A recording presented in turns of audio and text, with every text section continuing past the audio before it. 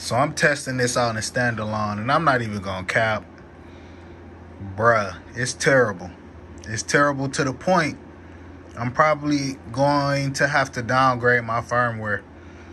The workflow killing me. So let me show y'all one thing. It's crazy. Whenever your beat is paused, you can browse and it works, right? But when your beat not paused,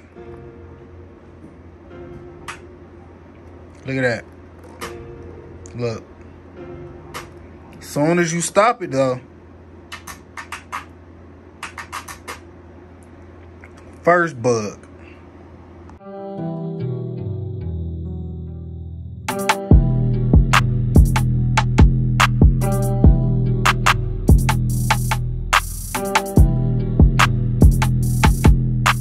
Then let me show y'all something else.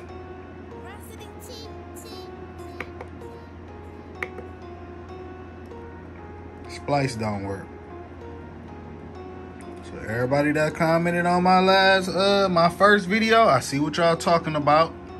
I've been getting random, weird, just weird, weird glitches. Like I can't even explain. Like stuff popping in and out, and just I was like holding some pads while I was uh putting these cores in and I was holding some pads that one, one, one, one, one, one, one. That part.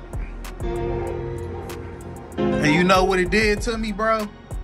It pulled up. It stopped in the middle of the performance and pulled up some kind of um. It pulled the velocity screen up. Like what? So if I do this, you gonna pull up the velocity screen? This screen. So it pulled this screen up, and I'm like, bro. And then it pushed the two in like that I was doing that. Like if you hold this for a certain amount of time, like if you hold it for a certain amount of time, is that supposed to do that? I don't think so. It never did that before. So that's another glitch.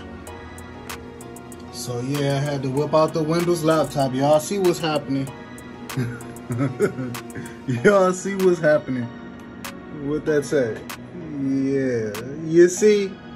So I'm gonna leave 2.10 on my MPC and I'm gonna leave the software on the computer and see, make sure. I'm gonna see how that workflow is. Stop playing, Akai. Stop playing.